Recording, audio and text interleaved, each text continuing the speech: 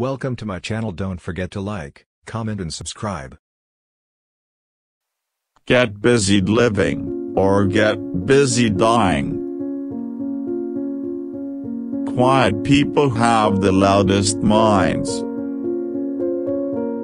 Our memories have voices too.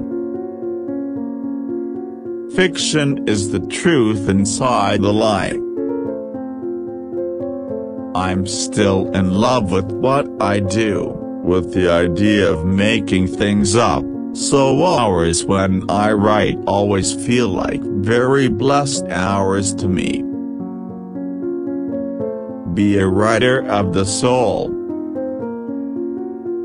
When the time is gone, you can never get it back.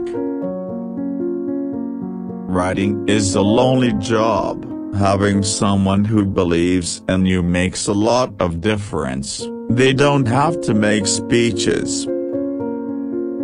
People who try hard to do the right thing always seem mad. Fear can hold you prisoner, hope can set you free. Books are the perfect entertainment, no commercials, no batteries.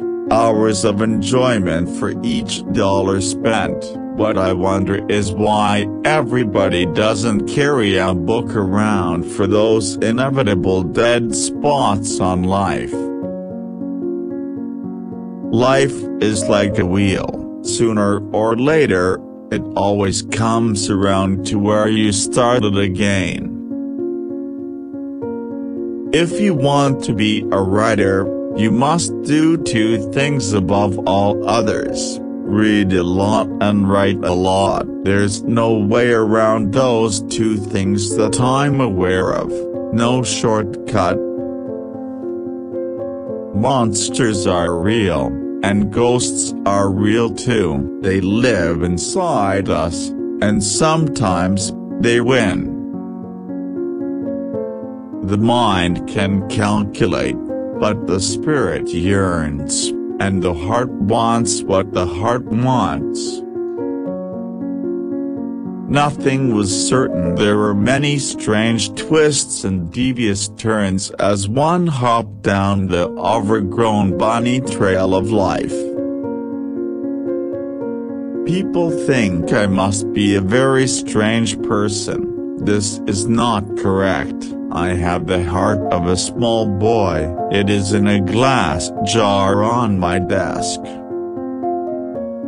If you can read and write, you can own the world. Only enemies speak the truth friends and lovers lie endlessly, caught in the web of duty.